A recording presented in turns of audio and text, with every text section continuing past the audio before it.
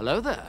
This is where the fun begins. What's up guys, unofficial Star Wars here. Hope you're all doing well, and Star Wars just recently teased on how Baylan Skoll's potential return and story may continue without the legendary Ray Stevenson. It's exactly what we're going to be discussing in today's video, going through all of it, breaking it all down for you guys. We're going to go ahead and hop right on into it. Before we do though, however, grab that subscribe button if you haven't already, as we're discussing and covering all types of Star Wars related news, leaks, rumors, theories, and breakdowns here on the channel. So if you guys are into any of that, go ahead and grab that subscribe button today. Okay, so in this video, we are going to be taking a quick read from the Direct's article. I'll have their article linked in the description down below for you guys to check out there as well. Ray Stevenson's Baylan Skoll played a major role throughout season one of Ahsoka on Disney Plus, and the character may be brought back when the Star Wars Disney Plus show returns for its second installment that was just recently confirmed and announced officially just a couple of weeks ago. Baylan Skoll was featured throughout Ahsoka season one as a Jedi turned dark in a search of something better for himself and his apprentice, Shin Hati, wanting to transform and even at that, better the entirety of the galaxy.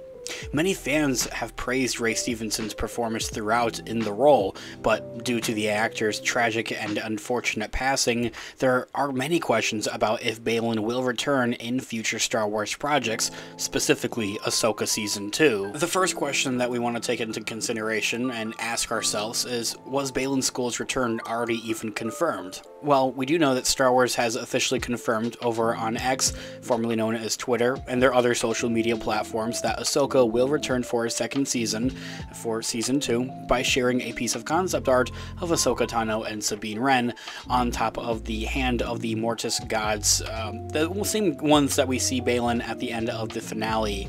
However, in the drawing, Ahsoka and Sabine are standing on the outstretched hand of the statue of the Father, the Mortis Gods, seemingly the same stone figure that Ray Stevenson's Baylan Skoll was seen on in the final episode of Season 1. So, this being said, this reveal teases that season 2 of Ahsoka will likely center on Ahsoka and Sabine trying to follow Baylan as he searches for this greater power that he's been sensing throughout season 1 and on this new planet Peridea. Since Baylan and his quest will likely directly influence the events of Season 2, just by the way that things were kind of set up with season one, this new piece of concept art could have confirmed that the character will, in fact, return in some shape or form uh, for the second season. I, of course, quite obviously, they probably won't be able to bring back Ray Stevenson, like, you know, using any type of CGI or deep faking technology. I just don't see, you know, Lucasfilm taking that direction, or Dave Filoni, much rather, more specifically, taking that direction with the character, and that much rather they're going to play it onto the cards that Baylan's character is still out there, essentially. So, if true, that means that Star Wars will have to recast the character of Baylan to an extent. There is this possibility, I think, at the same time that I want to quickly briefly mention that they'd be able to continue with the character, but never actually really show him in a way, essentially. The concept art, although, also included writing, as it reads, the story continues. This does further suggest that the end of season 1, which heavily featured Potentially in search of something connected to the Mortis gods, will be a major plotline of season 2. And so, this year all being said, another question that everybody wants to ask here is who would play and take on the role of Baylan Skoll in season 2 of Ahsoka? I mean, how would they recast such a legendary character, recast as such a legendary uh, actor of Ray Stevenson. It will be next to near impossible for Star Wars to find someone to replace Ray Stevenson in the role of Baylan Skoll.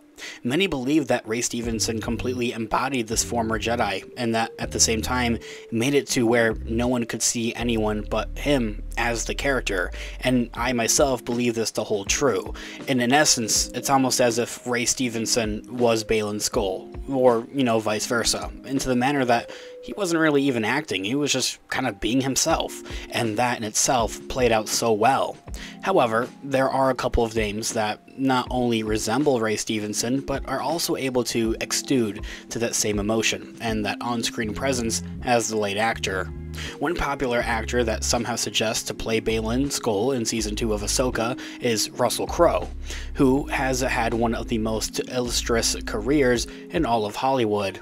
Another big potential actor who could do the role of Baylan is Graham McTavish, who has played in many big name fantasy and sci fi franchises such as The House of Dragons, The Hobbit, and Netflix's The Watcher. The actor McTavish also sports a striking resemblance to a point of Ray Stevenson, is often also able to command viewers in a kind of sort of fashion of respect and attention when on screen, just the same that Ray Stevenson did throughout Ahsoka Season 1. And a third option that many fans have discussed the idea of taking on the role of Baylan Skoll in Ahsoka Season 2 would be Gerard Butler, is yet another name that is also some fans have lobbied to replace Ray Stevenson. Butler's acting credits include movies like 300 and The Phantom of the Opera, proving that he has an incredible range based off of that. Out of all three of these options, though, however, if I have to be completely honest and transparent with you guys, I definitely think that